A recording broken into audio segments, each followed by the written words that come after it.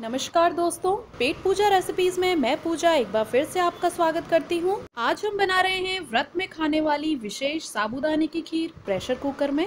ये खीर बहुत ही स्वादिष्ट और सुपाच्य होती है, इसीलिए छः महीने से दो साल तक के छोटे शिशुओं के लिए भी ये एक बहुत ही अच्छा इन्फेंट फ़ूड है। तो आप चाहें तो अपने घर के छोटे बच्चों के लिए भी बिल्कुल दो मिनट में ये खीर तैयार करके उन्हें झटपट खिला सकते हैं। इस तरह से बनाने से आप देखेंगे कि इसके स्वाद और टेक्सचर में बिल्कुल भी फ़र्क नहीं आएगा और साथ ही प्रेशर कुकर में पकाने से समय और गैस की बचत भी होगी। अगर आपने मेरे चैनल को सब्सक्राइब नहीं किया है तो लाल बटन दबा के सब्सक्राइब कर लीजिए। इसे बनाने के लिए मैंने ये आधी कटोरी साबूदाना लिया है। मात्रा में ये 100 ग्राम साबूदाना है। इसे हम सबसे पहले तीन चार बार साफ़ पानी से अच्छे से धो के साफ़ कर लेंगे। ये देखिए, इस तरह से साबूदाने को हम अच्छे से धो के इसका सारा पानी तार के हम इस तरह से निकाल लेंगे और ऐसे ही हम इसे दो तीन बार और धो के साबूदाने को बिल्कुल साफ़ कर लेंगे। ये देखिए, इस तरह से धोने से इसमें कोई भी इम्प्योरिटी या गंदगी है तो वो बाहर निकल आएगी।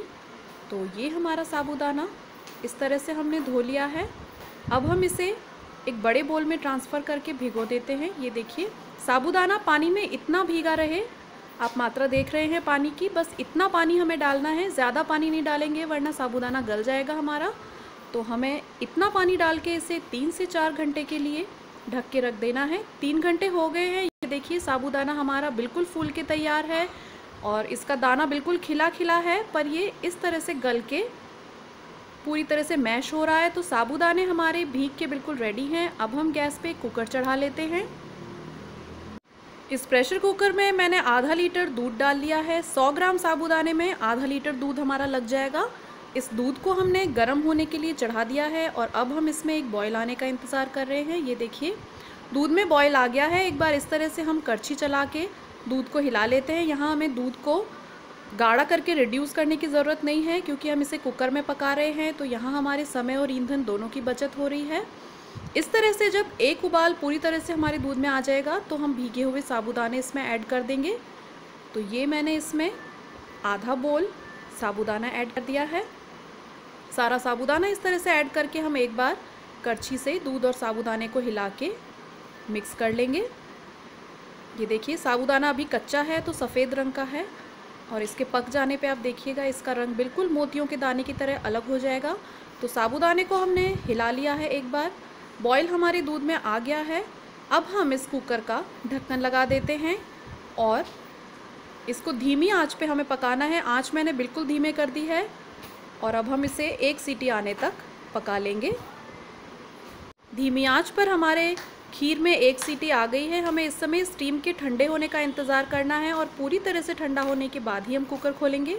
स्टीम हमारे कुकर की पूरी तरह से ठंडी हो गई है। अब हम ढक्कन खोल के खीर को चेक कर लेते हैं। जी हाँ देखिए, खीर हमारी पक के बिल्कुल तैयार हो गई है। जैसा मैंने वीडियो की शुरुआत में कहा था कि साबूदाना पकने के बाद ट्रांसपेरेंट होके ऊपर आ जाएगा। तो देखिए, बिल्कुल वैसा ही मोतियों के दाने की तरह साबूदाना फूल के ऊपर आ गया है और जो सफ़ेद साबूदाना था वो ट्रांसपेरेंट हो गया है। खीर हमारी बहुत ही अच्छी गाढ़ी हो गई है और देखिए इसमें बिल्कुल भी टाइम और गैस हमारा नहीं लगा है। अब हम इसमें आधा कटोरी चीनी डाल रहे हैं। चीनी और साबूदाना का रेशो ये है कि मैंने जिस कटोरी से साबूदाना नापा था, उसी कटोरी से मैं चीनी डाल रही हूँ। ये आप अपने स्वाद के अनुसार चीनी कम या ज़्यादा भी कर सकते हैं, पर मेरे अनुसार वन इस टू वन का रेशो सही रहता है।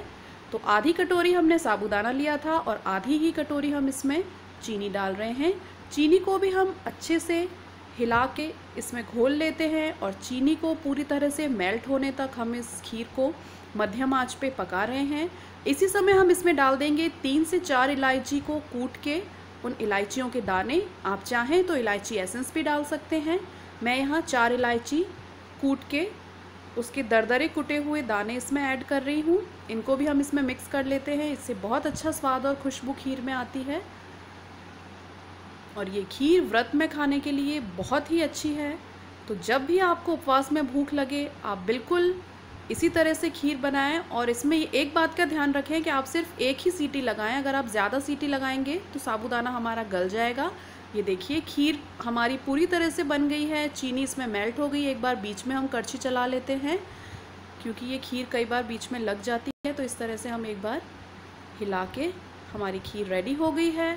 अब हम इसमें 10 से 12 धागे केसर के डाल रहे हैं।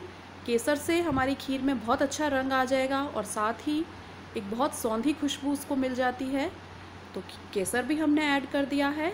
हमारी खीर बन के बिल्कुल तैयार है। इसमें हम लंबे लंबे कटे हुए बादाम के टुकड़े डाल देते हैं। आप अपने पसंद के कोई भी ड्राई फ्रूट डाल सकते हैं। बादाम, चिरौंजी, काजू, जो ड्राई फ्रूट आपको पसंद हो आप इसमें ऐड कर दीजिए। हमारी गर्मा गर्म खीर को मैंने कटोरी में निकाल लिया है और केसर के लच्छे और बादाम की कतरनों से गार्निश किया है। आप चाहें तो इसे फ्रिज में चिल करके खा सकते हैं या इसी तरह से गर्मा गर्म इसका आनंद उठाएँ। अगर आपको ये रेसिपी पसंद आई हो तो वीडियो के नीचे का लाल सब्सक्राइब बटन दबा के मेरे चैनल को तुरंत सब्सक्राइब करें। मेरे चैनल को सब्सक्राइब करने से आपको नई रेसिपीज़ और किचन टिप्स सबसे पहले मिला करेंगे। मेरी इस रेसिपी को ज़्यादा से ज़्यादा शेयर करें, लाइक करें, कमेंट करें। मुझे आपके कमेंट्स का हमेशा इंतज़ार रहेगा और इसी तरह अच्छा खाना बनाते रहें।